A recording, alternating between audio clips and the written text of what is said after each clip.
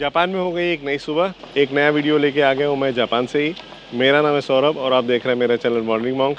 आज हम लोग ट्रैवल करने वाले हैं मात्सुमोटो से कावागोची को लेक की तरफ़। कावागोची को लेक बेस्ट स्टेशन है, जहाँ से आप माउंट फूजी एरिया को एक्सप्लोर कर सकते हैं।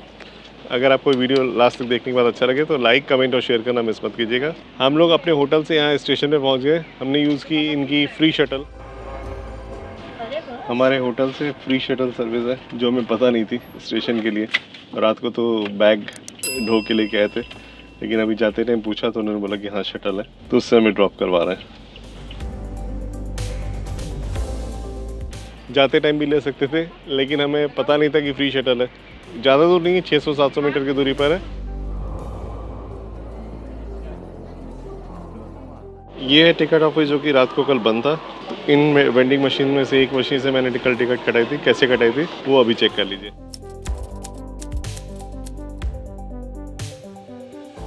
रात को आठ बजे के बाद जितने भी स्टाफ काउंटर से टिकट वाले बंद हो जाते हैं। ये वेंडिंग मशीन ही सहारा है।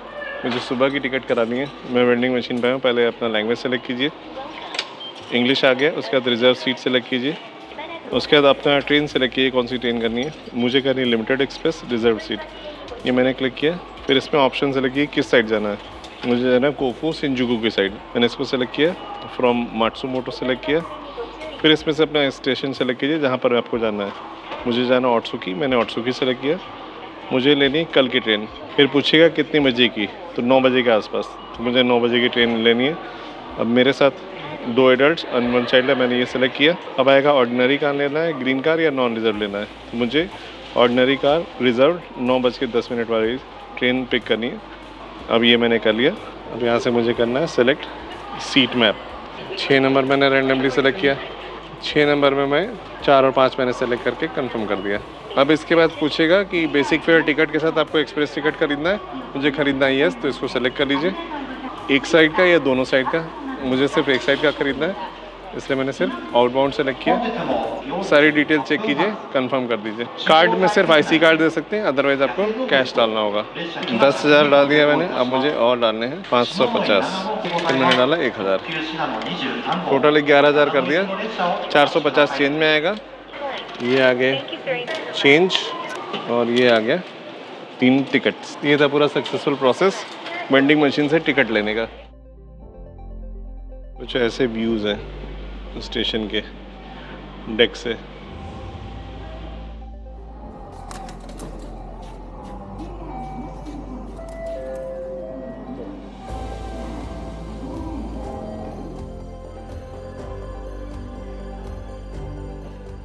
ये है हमारी बड़ी फ्यूचरिस्टिक से दिखने वाली अजूसा एक्सप्रेस जो कि हमें लेके जाएगी यहाँ से ओट्सुकी तक। ये ट्रेन एक्चुअली जाती है टोक्यो तक।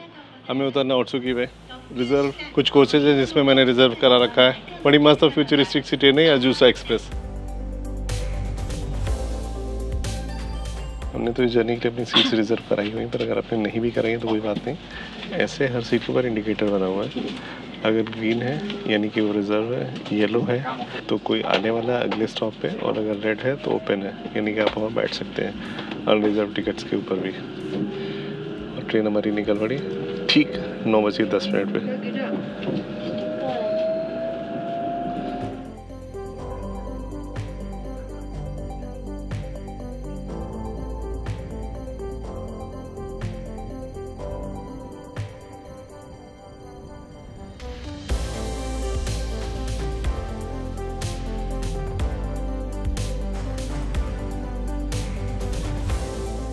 हमने तो अपनी ट्रेन की बुकिंग करा रखी है ऑटसुकी तक, क्योंकि मुझे कंफर्ट आता है ट्रेन से ट्रेन ट्रांसफ़र करने में। पर अगर आप बस राइड के लिए कंफर्टेबल हैं तो यहाँ पे चेंज कर सकते हैं। जिस स्टॉप का नाम है कोफू कोफू और इसके बाद एक और स्टॉप आता है सवाउनसन इन दोनों ही जगहों से यहाँ से आप बस पकड़ सकते हैं कावागोचिको के लिए।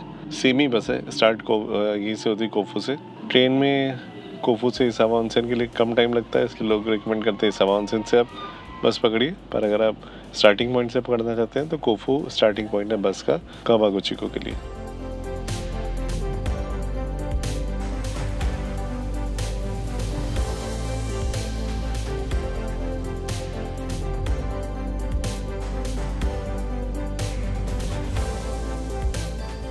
बहुत ही फास्ट कंफर्टेबल और सीनिक सी राइड करके हम लोग पहुँच गए। ओचुकी स्टेशन यहाँ से हमें अपनी लाइन चेंज करनी है जे लाइन से जाना है फुजी क्यू लाइन अभी तक की जो जर्नी थी अगर आपके पास जे पास है कोई भी जे आर ईस्ट जे पास तो ये सेक्शन कवर होता है जेआर पास में। अगला जो सेक्शन है और ओचुकी से कावागुची को वो कवर नहीं होता है। तो इस चीज़ का आपको ध्यान रखना अगर आप जेआर पास पे ट्रैवल कर रहे हैं जापान के अंदर तो। भागो भागो भागो भागो। भागो भागो भागो भागो। ग्यारह बजे का ट्रेन है।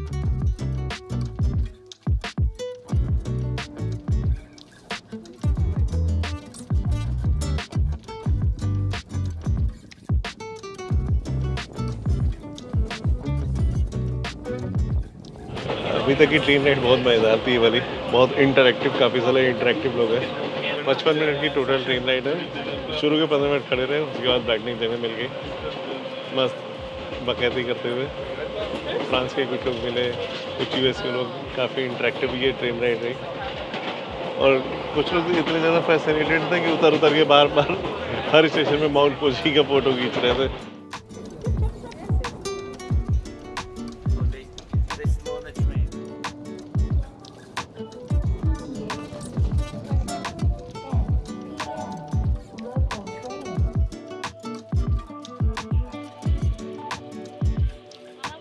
जैसे मैंने आपको बोला था कि यहाँ पे जे आर पास वैलिड नहीं है जे आर ईस्ट पास कोई पास वैलिड नहीं है तो क्यू ट्रेन से अगर आप आ रहे हैं ये है कावागुची को स्टेशन ये वाली जो पीछे ट्रेन सेट खड़ी है ये ट्रेन सेट सीधे आती है। टोक्यो के सिंजुकू स्टेशन से। कुछ लिमिटेड डिपार्चर्स हैं दोनों साइड से। टाइम टेबल आप गूगल करेंगे मिल जाएगा। बट ये अच्छा कनेक्शन है आपको कहीं भी चेंज नहीं करना। सिंजुकू से सीधे कावागुची को। ये जापानीज टेक्नोलॉजी जाते हुए वॉशिंग हो जाती है ट्रेन की। ये ट्रेन स्टेशन के बाहर ही है बस स्टॉप लोकल बसेज भी यहाँ से चलती हैं और आउट स्टेशन भी। ये फूजी कावागुची का टूरिस्ट इंफॉर्मेशन सेंटर कुछ चीज़ें यहाँ पता करते हैं। फिर आगे का प्लान बनाते हैं। काफ़ी सारी इन्फॉर्मेशन कलेक्ट कर ली मैंने यहाँ पीछे इन्फॉर्मेशन सेंटर से। आईसी कार्ड्स यहाँ के लोकल बसेज में चलते हैं। इसके अलावा एक शिबा शकुरा फेस्टिवल है। कुछ अप्रैल में शुरू होता है और मई में एंड होता है। काफ़ी सुंदर जगह है। उसकी टिकट आपको अलग से खरीदनी होती है, जिसमें एंट्रेंस और बस से आने जाने दोनों का टिकट साथ में होता है। कुछ चौबीस सौ एडल्ट का और बारह सौ बच्चे का है। वो मैं देखता हूँ। यहाँ पे कार्ड नहीं चल रहा था। शिबा शकुरा फेस्टिवल के लिए।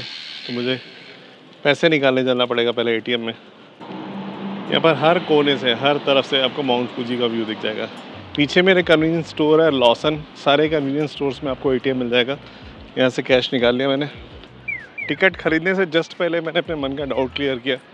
मैंने पूछा भाई साहब से कि जैसी पिक्चर्स में दिख रहा है, ये गार्डन अभी भी वैसा ही है या टाइम ख़त्म हो चुका है? तो उन्होंने एर्थ में की एक पिक्चर दिखाई। जो वहाँ पे लगी हुई थी। बहुत इम्प्रेसिव नहीं थी। छः हज़ार येन खर्चा करने का टोटली वर्थ नहीं लगा। तो मैंने शिबा सकूरा फेस्टिवल ड्रॉप कर दिया आइडिया फ़िलहाल के लिए। फ़िलहाल के लिए कम्प्लीटली ऑफ़ ही कर दिया। आपको आना तो अप्रैल में आएँगे तो आपको बहुत सुंदर लगेगा। मई के सेकेंड वीक में खाली हो जाता है। अगर आपने होटल बुक कर रखा है जो कि आपको पिकअप एंड ड्रॉप प्रोवाइड करता है तो 10 नंबर पे आना है। यहाँ से आपको पिकअप एंड ड्रॉप मिलेगा। पैदल चलना उचित नहीं समझा तो इस वाले बस से हम लोग आ गए। एक स्टॉप है स्टेशन से। यहीं आसपास में कहीं हमारा है अपार्टमेंट यहाँ पे रोड पे साइन बना रखा है straight down the side street Uji Nokura village